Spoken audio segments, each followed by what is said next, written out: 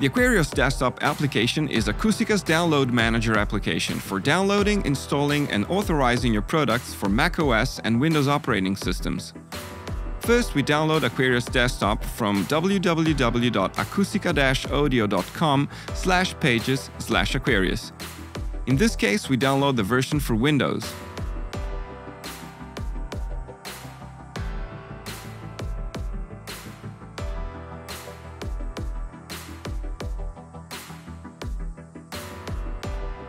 Extract the zip folder you just downloaded.